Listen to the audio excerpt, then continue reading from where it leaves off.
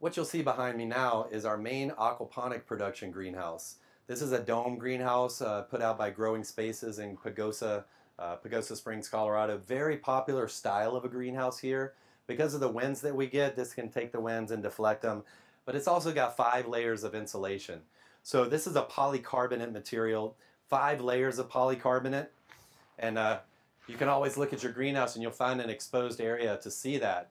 So this gives us a high insulation value for our greenhouse. So we're not throwing a lot of energy into heating, into cooling this greenhouse. It's done pre predominantly from the glazing material. Um, a couple other properties you'll see here is there's a vent, the side vents and even the top vents. These are passive vents. They open passively without any electricity. And the way they work is the vent itself, the, the opener shaft, is filled with wax.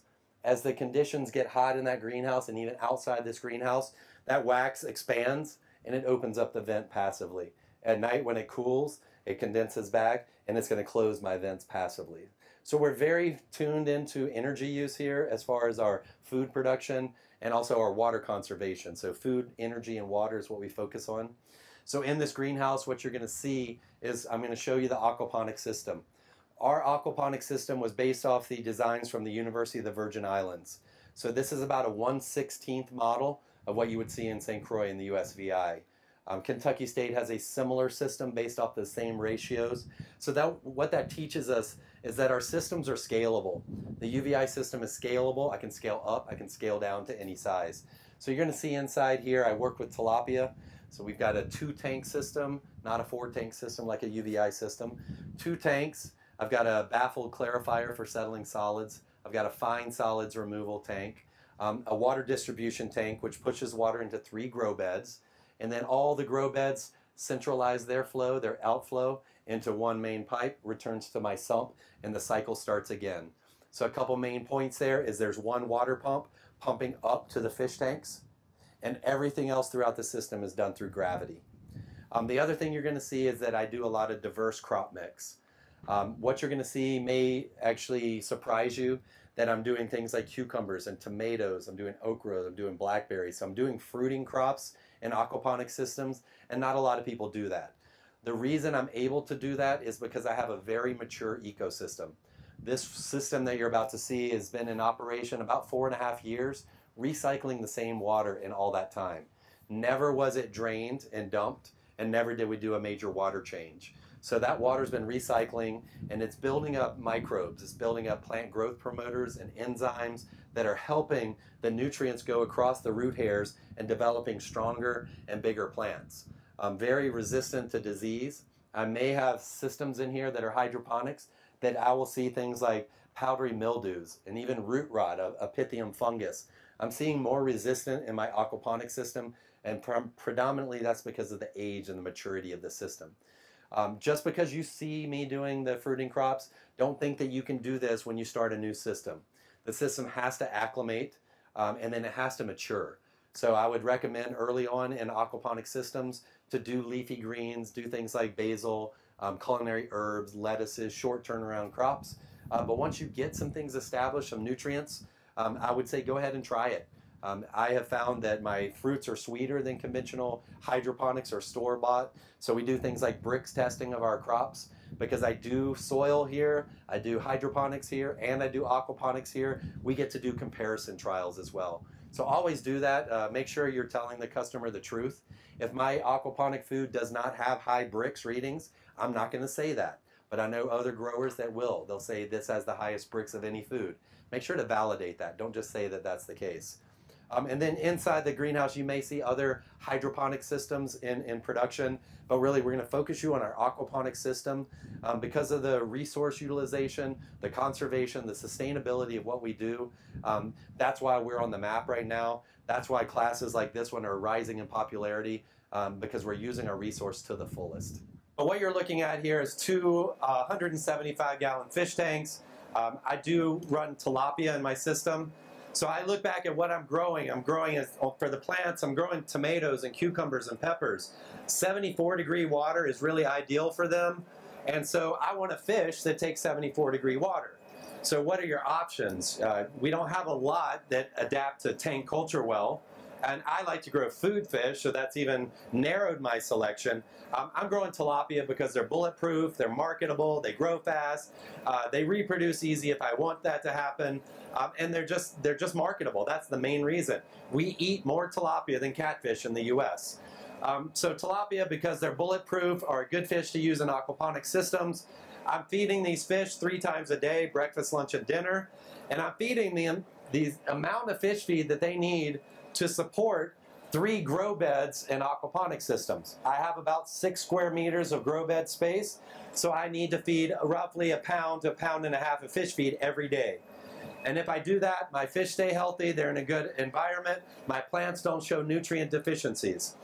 Um, the water flow is very simple. I've got a sump that's my low spot in the whole system. In that sump is a heating coil.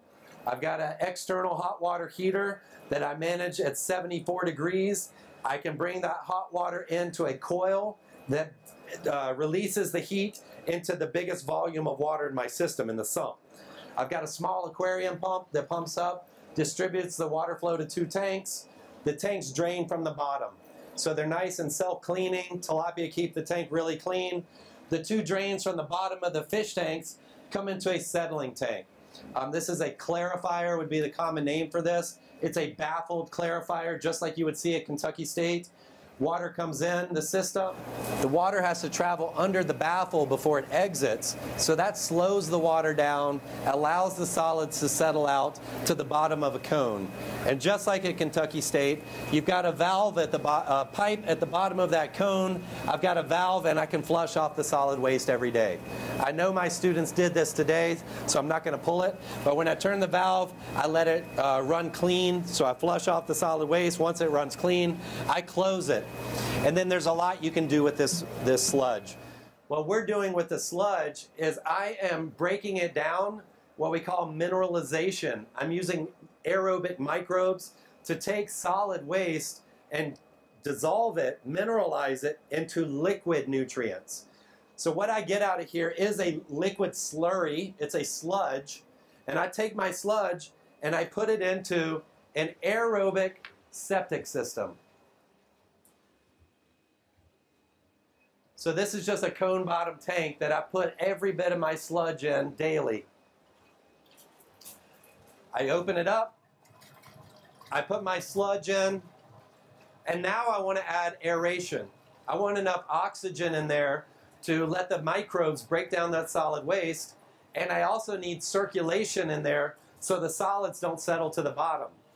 So because it's a cone bottom tank, I've plumbed this with an airlift pump. So you've got an aerator here and an air hose at that riser point. So as the water is rising up a pipe, wants to rise up the pipe, I make it rise by jamming air in there, and as the bubbles rise, they carry the water with it.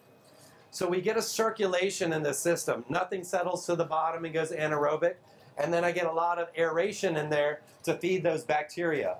So these uh, aerobic bacteria break down the solid waste, about once a week, I unplug my system. I let this settle. And I'll have about a half of this will be clear, dissolved nutrients and water. And I siphon those off and I add them back to the sump of my aquaponic system. And that's one reason I get a lot more nutrients in my system than some people do in their aquaponic system because I'm returning anything that was discharged back to the system. So that made this a zero discharge system which if you're going to get permitting for aquaculture, those are two key words, zero discharge. Okay, so I remove large solids with the baffled clarifier. Fine solids, I have a secondary tank. Uh, we're making some refinement to this to make it a better filter. Right now, I have to siphon off the bottom every few days. Uh, we're going to make a nice collection system to improve this. After solid waste is removed, the water comes through my next stage and is distributed to three grow beds. So these are three standpipes that uh, regulate the flow. If I need to isolate a grow bed, I just put an end cap here and cap that pipe, and then two will operate while I work with one. Other uses for this sludge, if I don't want to break it down, return it to the system, I could put it into potted trees. It's a great fertilizer, very low uh, fertility. It's not going to burn my plants, but it's got long-lasting fertility because it's still in the solid form. So this is a fig. I've got a lot of papaya trees. We use it um, on our compost pile as well. Uh, it's a valuable resource, so don't waste this. So after solids are removed, and I feed these three grow beds, water comes into every trough, and water exits at the other end of the trough. So it's just three identical troughs. My drains on the far end all joined together, and underground the pipe runs right back to my sump. So you've seen the entire loop of my system, starting with the sump, and I pump up one time, and gravity does the rest. Gravity through the solids filters, gravity through the grow beds, gravity all the way back to the sump where it's pumped up one time. So again, you've heard before, the golden rule in aquaponics is one water pump. Um, so try to design your system this way. It's also designed in a manner that if I lose any, if I lose power here, my pump stops working, nothing overflows. So everywhere through this system is standpipes that regulate the water level. So any of these components will just maintain their water level in the case of a power outage. That's very important as well. Um, and then with the plant beds, uh, we'll go through and show you different types of plants that we're growing. But what I teach is diversity. I'm showing my students and the community here that we can grow just about everything. Um, I've got blackberries in the back, I've got okra, I've got tomatoes right in there with cilantro and celery and broccoli's in here. Um, these nice cucumbers and tomatoes, I mentioned earlier, a lot of people can't do this because of the nutrients. Um, we go through here every day. Um, it's a lot of management, as you could probably imagine, pruning cucumbers, pruning off the suckers, and what we call leaning and lowering of these crops. As you can see, each crop has what we call a tomahawk. It's a spool of thread of line here that helps me uh, control this plant. I don't let any suckers come on here. I control it with one main line. I pick off my tendrils so they don't grab the next line. So I'm trying to keep these very organized. And once they grow over my main wire, I can lower them. That's why there's a spool. So we call it leaning and lowering. I'll lower this plant and then I can lean it over. If you can imagine these vines here, this is only about a uh, I'd say this is about a six week plant. Starting to give me some nice fruit. These are the long English cucumbers. But in six weeks, it's grown 10 foot tall, 8 foot tall. Once it reaches above that line, I'm going to lower it down. So at, if you came back or you saw this facility in six months, I would have vines that run all the way to the end here, and I curve them all the way back around, and sometimes even back around again but all you're going to see is this grow tip with cucumber, cucumber, cucumber, cucumber, or tomato the same way. So this takes a lot of management, uh, but this is, this is a commodity. Everybody eats cucumbers. Everybody eats tomatoes. Um, again, I focus my students on diversity. They have to decide can they make money at this. So now it's all about business, business, business. If you're at Kentucky State, Dr. Dasgupta is going to teach you about business, business, business.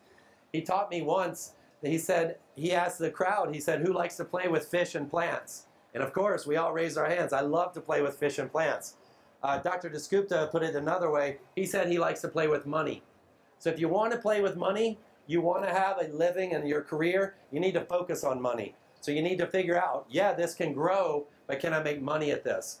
Um, one way I look at this is the more foodborne illnesses we have and food outbreaks, uh, food safety outbreaks, with things like cucumbers, cantaloupes, lettuce was a recent one.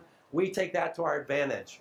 I told my students after we had a recent lettuce outbreak, I said, if you had lettuce today in Santa Fe, a local product, you could have just doubled the cost or the price that you would have got for your lettuce because people don't trust the safety of what's in the supermarket right now. Um, so you have to use all those advantages and you have to do your own uh, marketing. Um, but again, something like a cucumber, I keep in here about five months. A tomato I can grow about 10 months. You're not going to see a lot of the beginning from this footage, but I've got a tomato in the back of my trough that's grown up to the top of the greenhouse. It, there's a main wire here. It's growing all the way here, and it's still pumping out food 10 months later. Um, and this is an heirloom variety. I did not expect it to do so well. But that plant is easily 10 months old and has probably given me close to 100 pounds of tomatoes off of one tomato bush. Sounds impressive, but can you make money at it? Right now, in my market, I can go to the grocery store and get certified organic tomatoes for $1.49 a pound. That's this is tomato season. So uh, you need to think about when you grow and niche cropping. Um, so if we go back, uh, we're going to go to the other side of this grow bed. The reason you see these vines on one end, this is the north side of my greenhouse.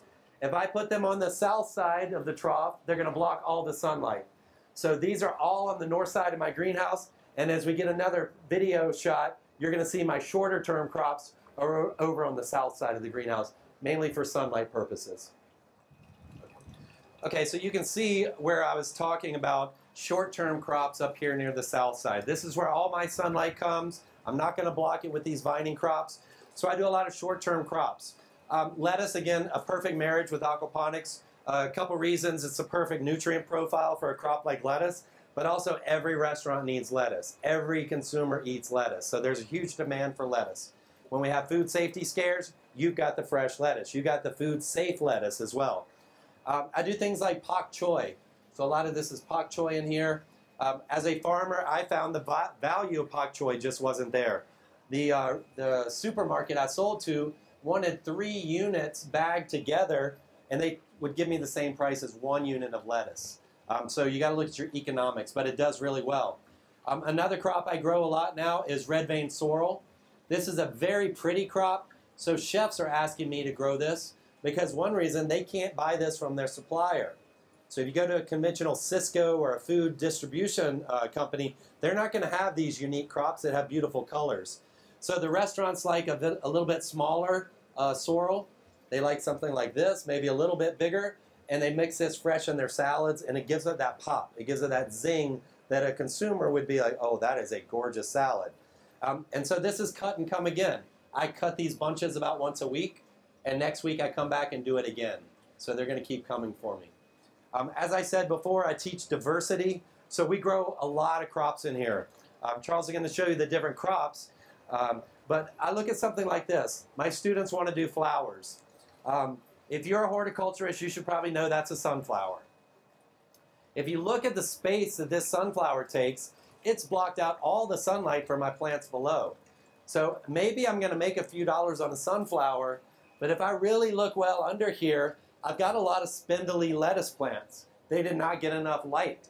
So as soon as these, uh, these start to flower, I'll harvest these, and I probably won't do lettuce, uh, sunflowers in here again with my students. But I do want to show them that we can do it. It's just, is it economical? Um, something like fennel would be the same thing. Um, fennel's a beautiful crop. Um, this is a bulb of fennel here, and this is going to get bigger and bigger. A typical bulb of fennel would be maybe about like this, and I would harvest this plant, and in the market I may get $3 from this plant. You may find some stuff on the internet with a, a, there's a photo of me with a fennel that's probably this big. And the fronds probably spread this big. So it really took my space again. I don't have the space to grow the crops that I want because of the sunlight. Um, so again, we can grow it, but can we make money at it? I do like to grow things like kale. Um, this is a dinosaur kale where I can come through once a week, uh, just like I've been showing with the other crops, pick the big leaves off, um, just like your collard greens, and this will keep growing. So I can come through weekly and get a lot of kale. I sell kale for about $9 a pound. Uh, so it's a good money maker and it just keeps giving. I don't have to seed and transplant weekly. This crop can probably last me four, five, six months if I do things right. Um, then in here, all kinds of things. Thyme. Thyme is a nice, valuable culinary herb, but it grows extremely slow in aquaponic systems. I'm showing that we can do it, and my students will get practice, I may have a group of students do yield on time and they're going to be very disappointed. Um, stevia, your natural sweetener. So if you got a market for this, maybe you have a lot of diabetics in your family or your community, look at things like the natural sweeteners. So we do focus on uh, medical herbs, uh, different medicinal herbs. A lot of my students want to work in the cannabis industry. In New Mexico, that's legal. Colorado, it's legal. Arizona, it's legal. Um, so there's a lot of jobs for them. So we teach tomatoes. Uh, but we're really teaching how to grow cannabis. It's the same as any other plant with the same requirements. Um, you just have different nutrient dynamics to think about. And so we can do that, but there are modifications needed to do good cannabis. Um, again, as I mentioned with the raft system, I can look at my roots. I can come in here and see which ones do well, which ones don't like water culture. Um, so something like the sorrel, these are very old plants that have been in here a year of cut and come again. And uh, the roots themselves look a little brown, but they're still healthy. I'm not seeing pythium. Pythium's like a mushy root.